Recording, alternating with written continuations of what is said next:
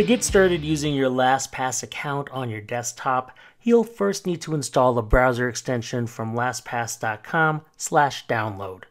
Here, LastPass provides ways to access all the available browser extensions for your operating system.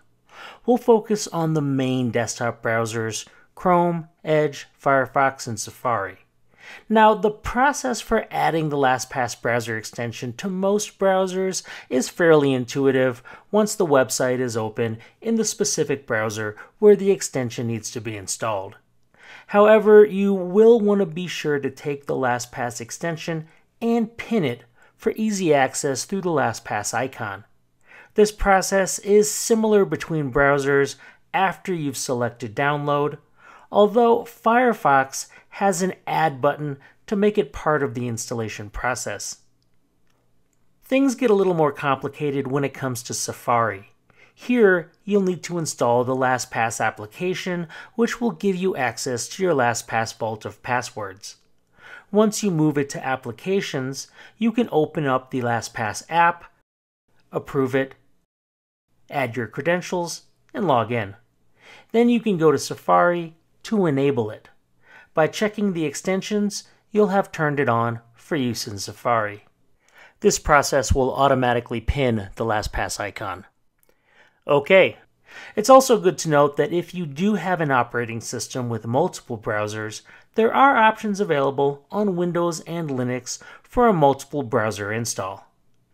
Now, to start using LastPass, you can go to your pinned LastPass icon and log in from there with your credentials. There are advanced options for both remembering your email and your password, but this isn't recommended on an unsecure desktop. Now, once you're logged in, you'll have access to search your vault for passwords to websites you can launch directly. This will both open the website as well as log you in. Other functions you'll find quickly available are a password generator, alerts available for premium and above, and quick account access. Options you may want to set up now can be found under Extension Settings, where you can set up logout security options should you be on a public or shared desktop. You may also want to go into your account settings and make login easier and secure through passwordless options, which can be enabled using the LastPass Authenticator or by other means. Another highly recommended option under General is to create an SMS recovery option via a recovery phone. So, should you ever lose your master password, this makes it much easier to recover your account.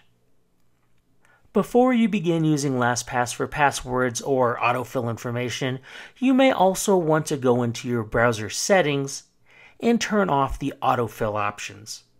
Chrome's put this in separate categories under autofill where you'll need to make your changes. For Edge, you'll also need to access the settings. However, you'll find the options under Profiles, again, in separate categories. Firefox keeps access to settings in a similar location. However, you'll have to go under Privacy and Security.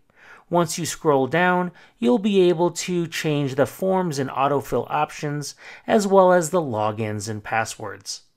Safari is a little different as you need to go to the top menu under Safari and access Preferences, and then the autofill selection will be easily available to start unchecking things. And that's it for installing browser extensions and logging in. For instructions on mobile device use, please check out our information at support.lastpass.com.